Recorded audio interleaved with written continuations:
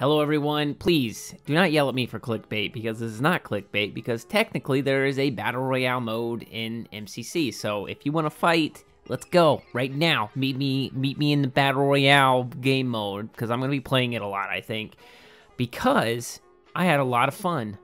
Now, with the introduction to the custom game browser in MCC, I was just looking around. I saw a bunch of game modes and stuff. You know, there's drag race, all all different types of game modes, duck hunt, things like that. And I was scrolling through, and I found this one that was called Battle Royale. And I was like, hmm, interesting. Let me go ahead and click that. And while this isn't the first time there's been a Forge made Battle Royale mode, I, I know that Halo 5 has kind of a working BR. I've seen other YouTubers from the Halo community make videos on it. I never actually played it because I don't have Xbox Live, so I don't play Xbox at all at this point. But I saw this one for Reach and I decided might as well hop in, see what it's like, you know. Clearly it's not developer made, it's not a AAA game mode or uh, anything like that from 343. But I will say I had a blast playing it. It was a lot of fun.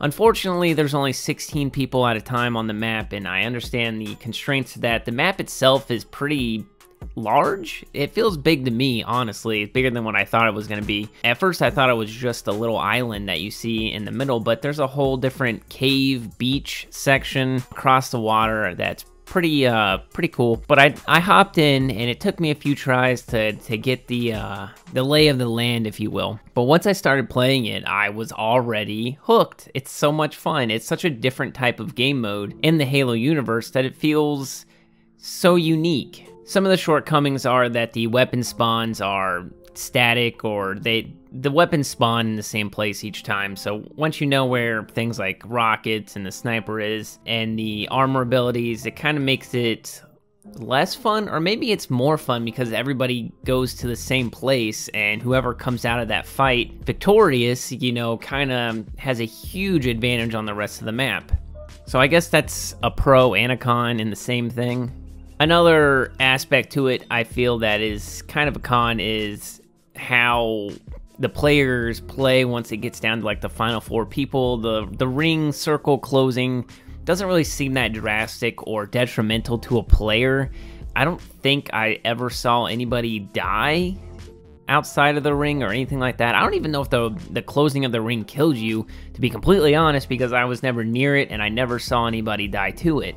But I don't think that I ever played where it felt like the ring had constricted everybody into this small circle because uh, within the first like three minutes, everybody is almost dead, anyways. Now, I know that the Battle Royale game mode in Halo is such a huge topic of discussion and people get really upset about it. And I'm not gonna lie, I understand both sides of the argument. I do personally think that a Battle Royale mode would be super successful. I do think that there will be a Halo BR in the future in some capacity, whether it's a standalone game, you know, aside from Infinite, whether that's, you know, the ODST version of the game, um, or whatever. I, I just think that it's it is kind of a missed opportunity because I I'm one of those people that believe that a battle royale really fits in well with the Halo mechanics.